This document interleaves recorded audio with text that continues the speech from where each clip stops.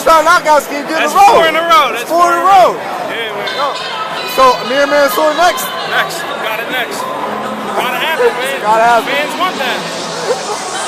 I think that he has the tenacity, the resiliency to last, you know, a, a, a, a real 10 round, you know, brawl with me or, or, or work me. I can then too, I don't think that his skill set can, can take You, him you off know I got humble skill. with me. Come on, man. You know I got skill. You know I To everybody, your size and everything is very deceptive. You're fast on your feet, you got speed, but you know, in terms got of skill skills to set, hang me out.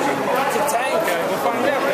I'm ready for it, man. it's a whole nother world. You know what I I know It's it a whole nother world. You set the ring up now. For you too.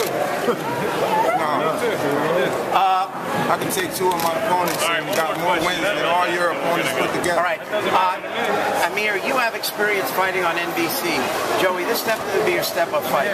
Do you think that the fact that Mansour is an older opponent, by virtue of being in the 40 and over zone, do you think the fact that he's an older opponent gives you an advantage or a disadvantage? No, it's, I'm not fighting an old man. I mean, he's reserved. Look at him. He, he's older than in great shape.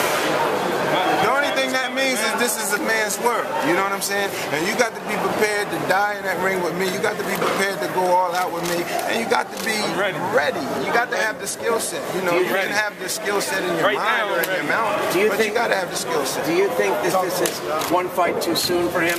That he's not yet enough experienced to uh, step up to that level that you're at? Garrett Wilson, you were ringside with me, former USBA cruiserweight champion. Y'all be easy, man.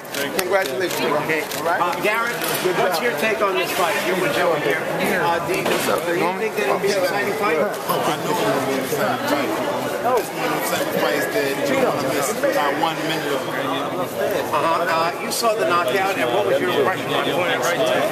Can't wait to see Second, second, ball rest still is. Uh, do, do you think that uh, Joey's ready for a step-up fight now? Do you think he has to make that step?